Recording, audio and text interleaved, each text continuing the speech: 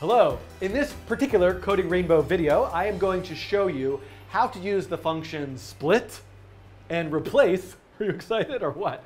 Uh, split and replace to do some very common operations that are going to be needed for lots of examples I'm going to make in the future in JavaScript with regular expressions. So, uh, whoops, oh, this camera's off, but I can turn it on.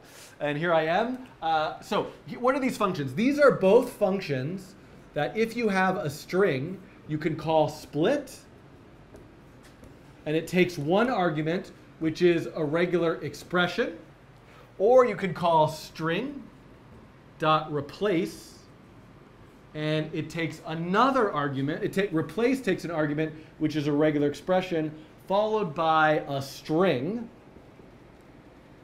or oh my goodness, oh my goodness, oh my goodness, oh my goodness, a function so replace is going to be, is, is, split's going to be very simple for us to look at. I'm going to look at it rather quickly. And I might, in a different video, look at replace and look at how you can actually pass in a callback function. So while the regular expression is matching things, it's triggering a function which allows you to implement highly sophisticated logic for how you replace text within a piece of text. I'm just going to show you the basics of it, but I hope that you will go and make all sorts of weird and strange creative experiments by you know, mashing up and replacing text. So let's first look at split. So the scenario that I want to look at is I have a web page, it has a little text box, and I want to take that text box and whatever's in that text, I want to split it into an array of words, an array of tokens. This is very, very common. In the Flesch index example that I talked about in a previous video, I looked at, okay, well, how do you take a text and split it up into an array of words or an array of sentences or what about an array of syllables so this this idea of splitting a text into tokens chunks of text is very commonly something that needs to be done so let's just look at it very briefly here in the console i'm going to say uh, uh, unicorns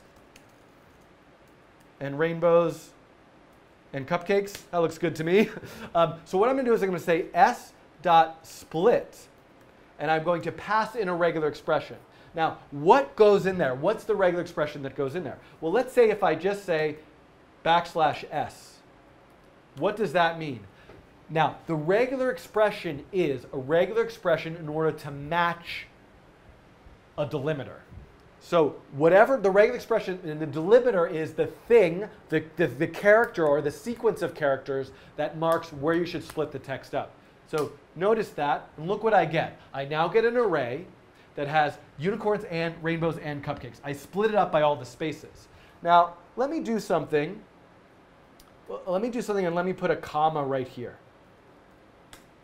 And what I'm going to do is I'm going to call that split function again. And I'm going to, and look, but look, it's and comma. So what if I want to split by a space or a comma? So you know, watch out. What if I do this? Comma backslash s.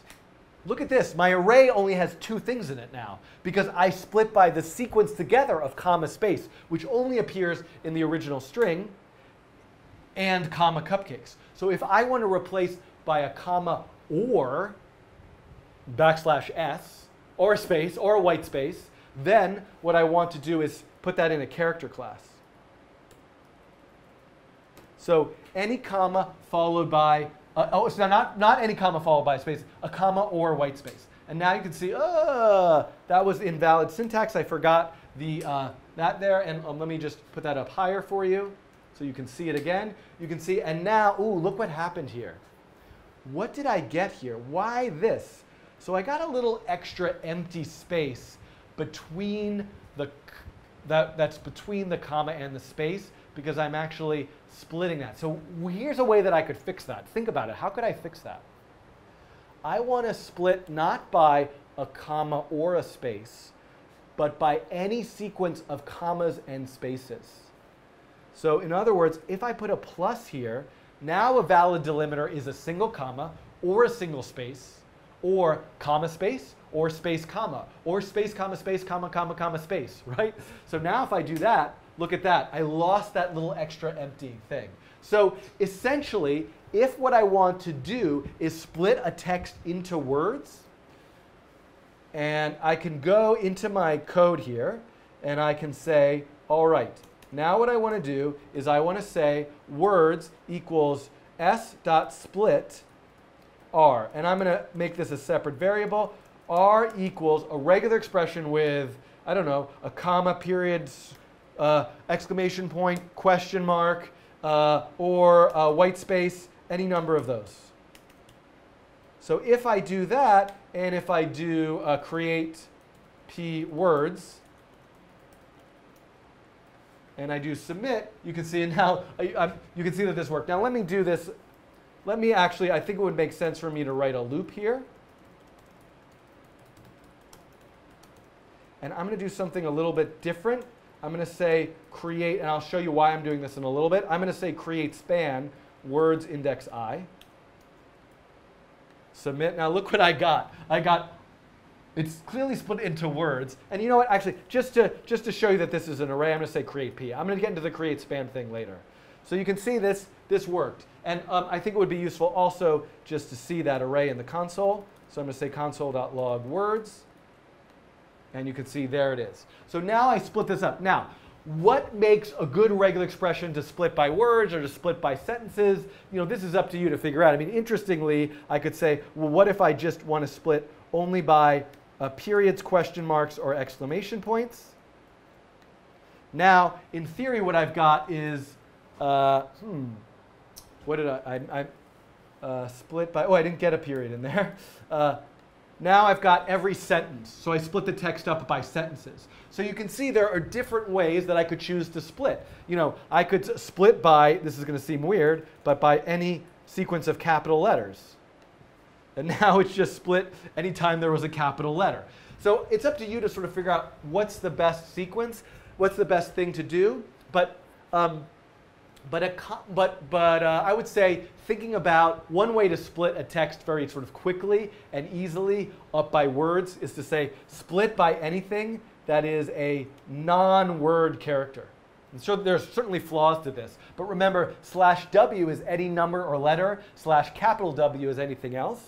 So if I do this, you can see this is a nice way for me to get all of the words in the text in a big array. So there's, um, okay, so there's one other aspect of this, and I'm going to do this as a coding challenge in a bit, but I want to mention it to you.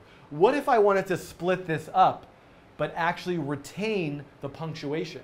Like, look, what if I wanted to know still in the array that a comma comes after reflection, a period comes after arc? So there's a little secret trick here, which is that if in the regular expression, if I use capturing parentheses, if I put capturing parentheses around the delimiter regular expression, then those delimiters that, are, that the text is split up by are saved into the array. So let me show you what I mean by that. I'm going to run this again, and you can see, look at that uh, right here, there's an element, the comma is saved, you know, this, the period is saved. The spaces should be saved too, but those aren't showing up just in the way that I'm that the uh, that the text is being rendered with HTML. But you can see that they're here in the array themselves, all those spaces. And this is going to be really useful. The coding challenge thing I'm going to do in a couple videos from now is show you how to take a text, split it up, and then interact with each word separately by clicking on it or hovering over it. And I'll, I'll show you how that, um, how that works.